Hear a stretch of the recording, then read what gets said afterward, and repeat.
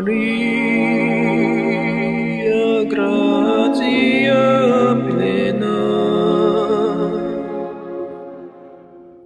Ave Ave domino, Minos Tecum.